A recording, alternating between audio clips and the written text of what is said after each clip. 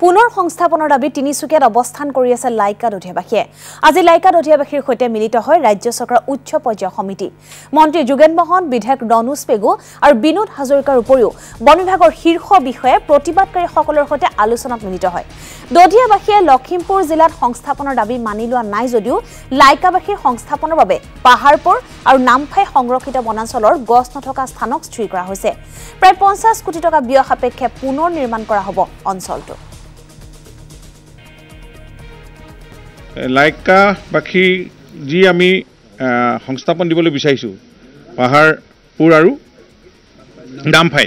তাতে এই পাহাৰপুৰৰ নামফাইত তেওঁলোক যাবলৈ সাজু আছে তেখেতসকলে জনালে। আৰু আমি তাৰ কাৰণে অকল তেওঁলোক গ'লেই নহ'ব তাৰ যিটো ইনফ্ৰাষ্ট্ৰাকচাৰ তাৰ প্ৰতিটো বিষয়ে আজি আমি পুংখানুপুংখভাৱে আলোচনা কৰিছোঁ। সকলো যাৱতীয় ব্যৱস্থা তেওঁলোকক প্ৰদান কৰিব লাগিব। গতিকে তেওঁলোকৰ আমাৰ যি লাইভলিহুড সেইকাৰণেও আমি চিন্তা কৰিছোঁ যে আমি তেওঁলোকক আমাৰ যি অৰুণোদয় আঁচনিত প্ৰত্যেককে অন্তৰ্ভুক্ত কৰা চৰকাৰী বিভিন্ন আঁচনিৰে তেওঁলোকক আৰ্থিক সাহাৰ্য দিয়া এনেকুৱা ধৰণৰ কথাৰে আমি গোটেই বিষয়খিনি আজি আলোচনা কৰি আমি সমাপ্ত কৰিছোঁ। গতিকে লাইকাবাসী আমি তাতে সংস্থাপিত হ'ব তেখেতসকলে আনন্দও হৈ উপভোগ কৰিছে। আমি তেওঁলোকক আমি এলটমেণ্ট চাৰ্টিফিকেট দিম। আমি যেনেকৈ তেওঁলোকক দিব পাৰি এইটো ফৰেষ্টৰ ডিপাৰ্টমেণ্টৰ যেতিয়া কেন্দ্ৰীয় চৰকাৰৰ পৰা এই গ্ৰীণ ছিগনেলটো অহাৰ লগে লগে আমি খুব সোনকালে ফেব্ৰুৱাৰী মাহৰ ভিতৰতে আমাৰ দুই তিনি সপ্তাহ সময় আমাক প্ৰয়োজন হ'ব এইখিনি কৰোঁতে। গতিকে আমি প্ৰায় এইট্টি পাৰ্চেণ্ট কাম আমাৰ এইবিলাক আমাৰ অসম চৰকাৰৰ পৰা কৰিবলগীয়াখিনি আমি আজি সমাপ্ত কৰিছোঁ। আমি একত্ৰিছ তাৰিখৰ ভিতৰত সকলো বিভাগক আমি নিৰ্দেশ দিছোঁ যাতে সকলো তেওঁলোকৰ প্ৰপ'জেলবিলাক ছাবমিট কৰিবৰ কাৰণে। গতিকে খালী মাত্ৰ দধিয়াবাসীয়ে অকণমান এটা লখিমপুৰৰ যিডোখৰ আধাকণা তাতে অকণমান আপত্তি কৰিছে যে তাতে পানী হয় বুলি তেওঁলোকে আপত্তি কৰিছে।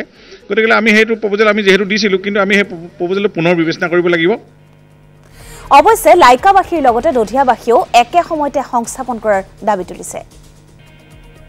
না মানে আজি আমি খুব মানে আশাত আছিলোঁ কিন্তু এই উচ্চ উচ্চ যিটো কমিটি মাননীয় সৰ্বানন্দ সোণোৱাল ডাঙৰীয়াই যি কমিটি গঠন গঠন কৰি দিছে সেই কমিটিয়ে মাননীয় মুখ্যমন্ত্ৰী সৰ্বানন্দ সোণোৱাল ডাঙৰীয়াৰ আপোনাৰ কথা- মনা নাই আৰু তেওঁ তেওঁ দিয়া দায়িত্ব পালন কৰা নাই। মাননীয় মুখ্যমন্ত্ৰী সৰ্বানন্দ সোণোৱাল ডাঙৰীয়া আহ্বান জনাব বিচাৰিছোঁ আপোনালোকৰ মাধ্যমৰ যোগেদি।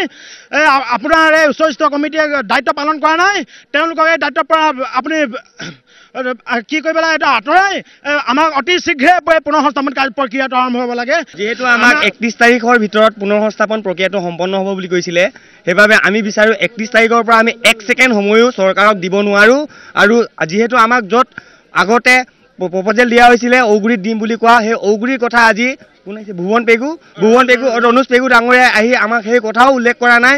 আজি ডিব্ৰুগড় তিনিচুকীয়া বিবাদ বিভাজন এই ডিব্ৰু চৌখাৰ মাজতে আমাৰ দৰিয়া লাইকাক বিভাজন কৰি কি স্বাৰ্থত লাইকাবাসীক তিনিচুকীয়াত আৰু কি স্বাৰ্থত ডিব্ৰুগড়ত আমাৰ ডিব্ৰুগড় ডিষ্ট্ৰিক্টৰ মানুহ দৰিয়াবাসী ৰাইজক ডিব্ৰুগড় নিদি শিৱসাগৰ নিদি দুখন তিনিখন ডিষ্ট্ৰিক্ট পাৰ কৰি লখিমপুৰৰ এটা প্লাবিত অঞ্চলত সংস্থাপন কৰাৰ কথা চিন্তা কৰিছে।